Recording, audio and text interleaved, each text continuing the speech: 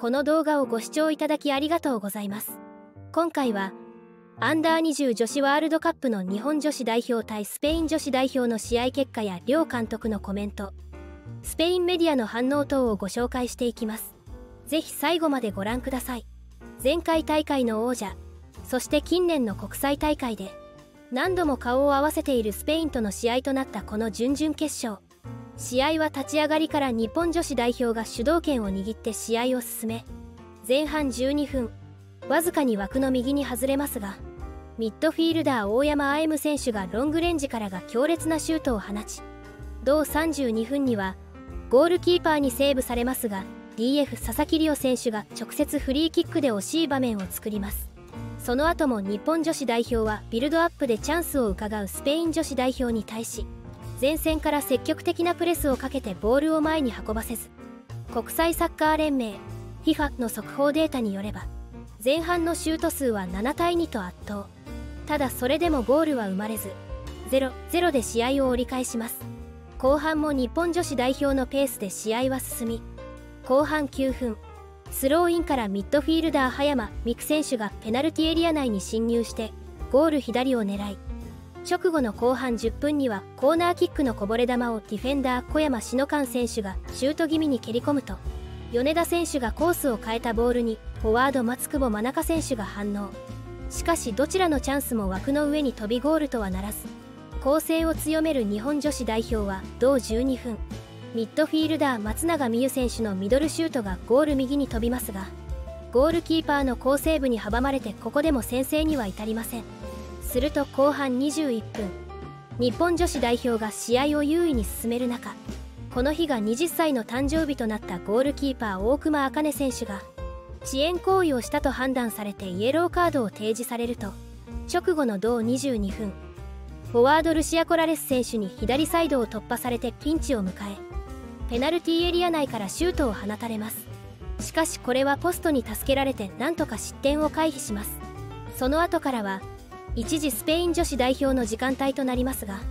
終盤は再び日本女子代表が攻め込みチャンスを作ります。しかしそれでも得点することはできず試合が延長戦にもつれ込むと延長前半12分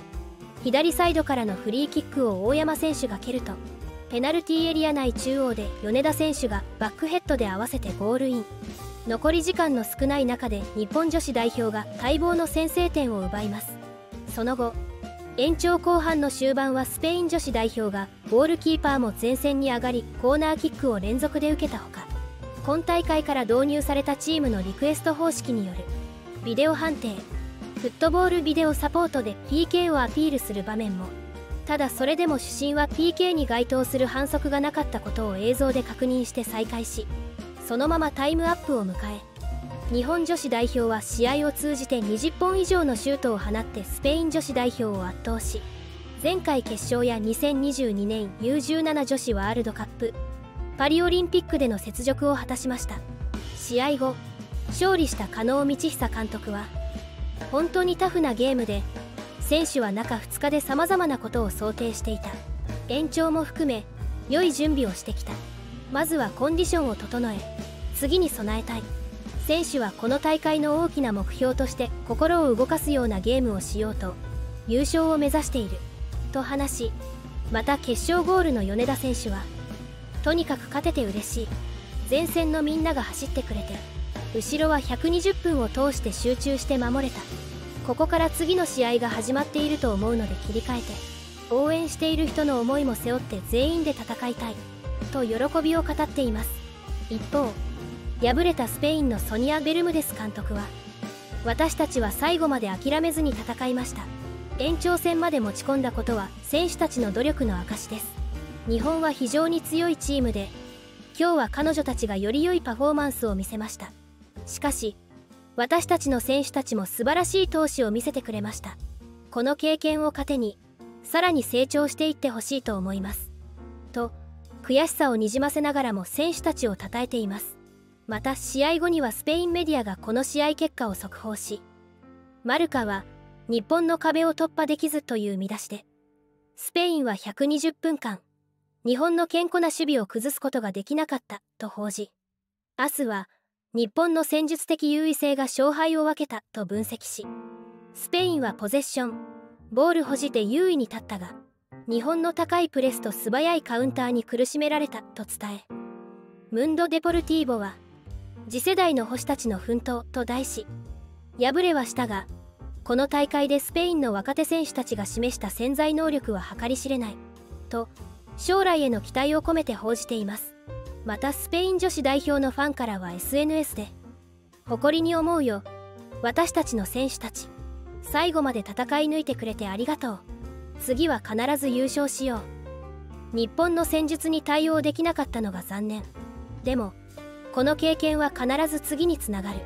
若い選手たちの成長が楽しみ。延長戦まで持ち込んだのは素晴らしい。PK 判定は微妙だったけどそれを言い訳にはできない。日本の強さを認めつつ次に向けて頑張ろう。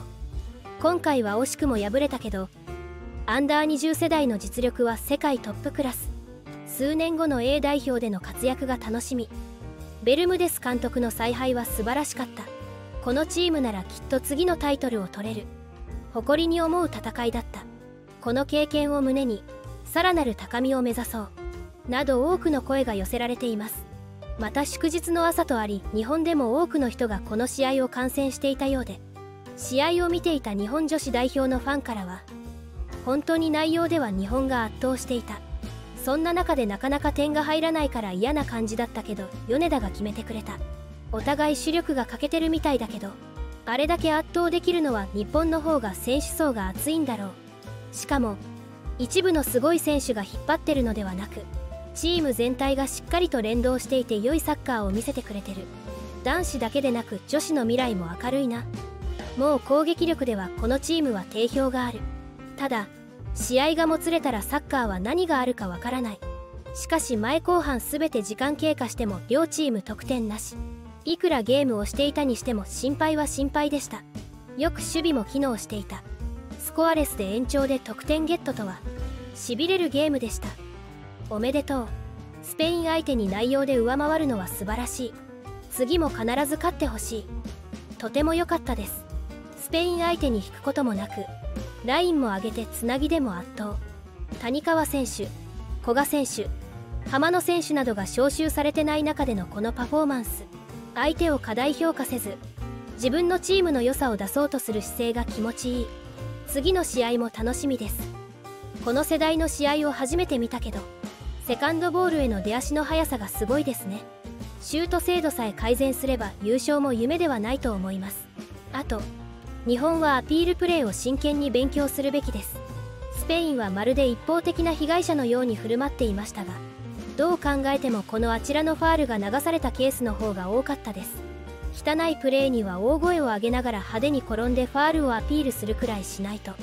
ここぞという時に判定で損をしそうでなりません。やったやったやった。